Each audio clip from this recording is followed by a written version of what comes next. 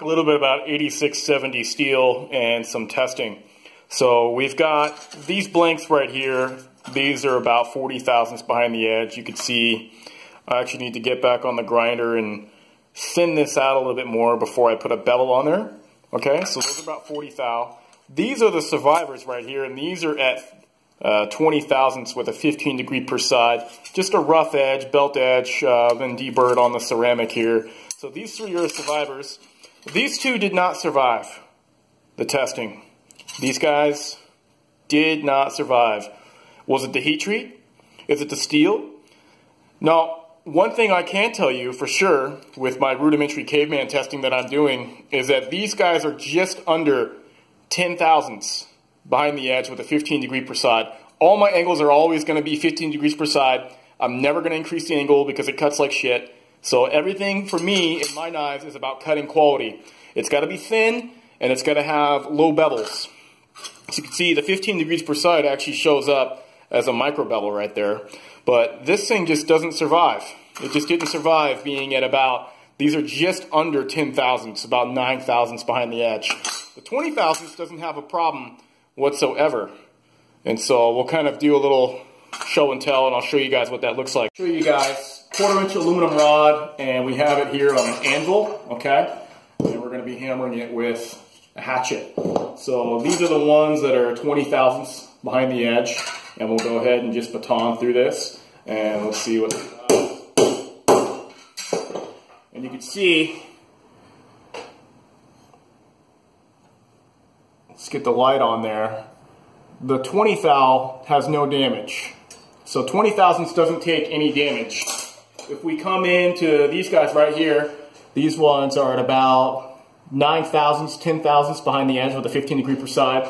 This also has the same edge geometry. Okay, this is also 15 degrees per side, but 20 thousandths behind that shoulder. Uh, this one's 9 thousandths behind the shoulder, so half of that. Uh, these are all part of the same batch. They were all heat treated the same.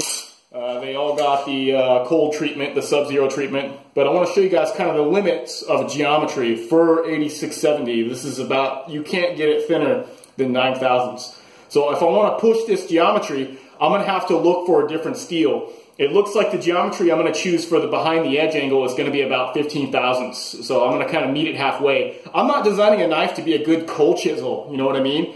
I'm designing a knife that's going to cut good. So these knives will probably hold up good for just regular cutting in the right person's hands, but if you want a knife that's designed for a cold chisel, it's got to be a little bit thicker, it looks like. And the problem with that is your cutting quality goes down the shitter, okay? The thicker you are behind the edge there, the higher the angle you have on your bevels, your edge geometry, it just cuts like shit. And that's not what I'm about. That's not what interests me in knives. I'm not interested in making a cold chisel because I can go to the store, buy a pack of, six pack of Husky cold chisels. They're not using insane steel. They're not doing anything crazy with the heat treat. So it doesn't fucking matter. You know what I mean? It, it's all geometry. So just know what you're paying for when it comes to this stuff. Uh, again, I'm going to show you guys destruction testing of this 8670. It breaks my heart. I put a lot of work into this knife right here, but only the fucking strong survive. So here we go. Boom fucking destroyed. Done. Next. This one seemed to hold up a little bit better there. But yeah, only the fucking strong survive. And so these guys didn't survive. Get out of here, okay? So we're gonna take these ones right here and we're to put these guys at about 15 thou behind the edge, maybe 12. I'll try to push that, ride that line. But it looks like with 8670 steel, with the heat treat I put on here, it can't be pushed to 9 thousandths behind the edge. Now then, could it be maybe the heat treat? Yeah, it definitely could be. Uh, there's definitely lots to explore. You know, it's it's not like anybody has the uh, you know the exact science behind all this stuff. You know, I'm, we're all just kind of figuring this stuff out as we go. Metallurgy is much more of a practice than it is an exact science. Uh, yeah, so we got five blades that survived. Okay, the rest did not survive. these were bad knives. In fact, I would have just enjoyed using these things with that thin geometry. The cutting quality was fucking great. But the thing is, yeah, we got to test. We got to see what the limits of this stuff is. You know, I can't just send stuff out without seeing, you know, what the limits of it are, you know, is because people are going to be doing that stuff, and then you know, I want to see for myself what's going on. What are the limits to it? And you have to break it to see what the limits are. And so, yeah, I enjoyed the uh, actual 9 thousandths cutting geometry, uh, 15 degrees per side. It cut like a freaking champ. It was very enjoyable. But it's not going to be able to handle any kind of extreme hard use. Now, with these other knives at 20 thousandths, 20 thousandths cuts like shit. So I'm not designing these knives to hold uh, 20 thousandths, 15 degrees per side geometry. I'm going to meet it halfway. So we need to take these guys right here and drop them down to 15 thou uh, behind the edge so that we get increased cutting quality because otherwise the cuts will just wedge. It won't cut the way that you want. It'll cut like shit. So looks like we can't go past this right here. This is the limit. This is too thick. This will hold up to the aluminum right here, okay? But I'm not designing a knife, like I said, to cut aluminum. That's not the end-all be-all. It's a cool little test to do, but at the end of the day, when I ship these knives out, they're not going to be designed to cut the aluminum, okay? Because I'm going to drop the geometry down between 20 and 10 thousandths. So now you see the limits there. Uh, what's interesting too is that with this steel right here, we'll do a quick test on this guy. This is 51 or 52 100, and you can see kind of what more alloying does to increase the strength. And this is about 10 thousandths, and this will actually hold that 10 thousandths geometry. Now, is that to say that 8670 can't? Well, no. Maybe there's some little quirk with the heat treat that's yet to be discovered to make it uh, do that. And, uh, you know, that's kind of what we're doing here with all this knife stuff is we're exploring the metallurgy. We're, we're seeing what the limits of things are. And definitely, I need more equipment. Okay, I'm not going to lie. I need more equipment and more resources and more time, to be honest, to do all this stuff. All this stuff takes a tremendous amount of time, takes a tremendous amount of resources to do. And I'm hoping to get to the point where I'm making an excellent product that people want to buy to then fuel this research, all this cool stuff we could explore together. But let's get a quick test of this uh, 52100 for you guys. 10 thousandths behind the edge, 15 degrees per side. Good cutter. Alright, we got the 52100 test blade here, 15 degrees per side, about 10 thou behind the edge, and let's test this guy.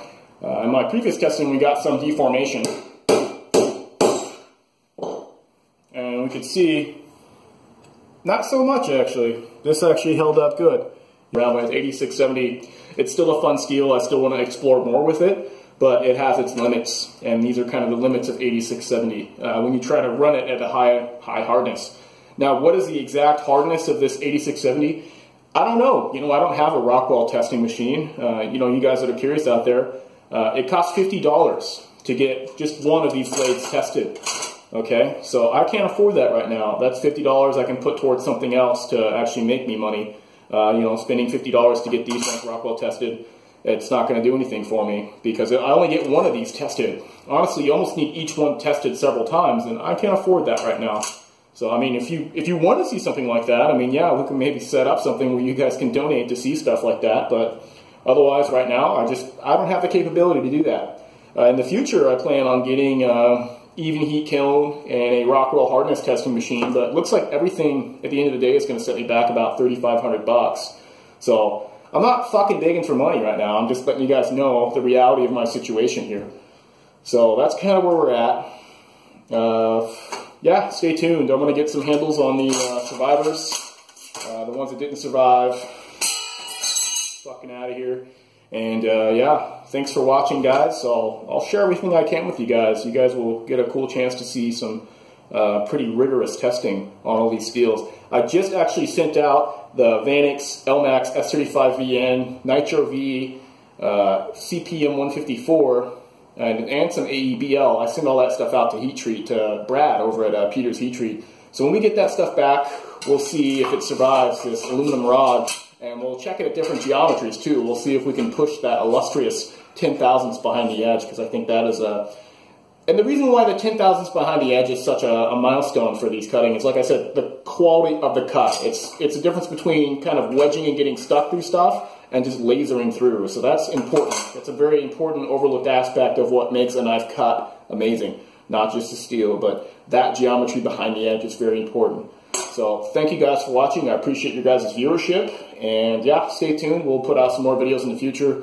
I'm gonna kind of hustle here. I gotta clean this little shop area up. You can see it's just a freaking mess. Uh, but I've been busy with work. In fact, I gotta get ready for work right now. So take it easy, dudes.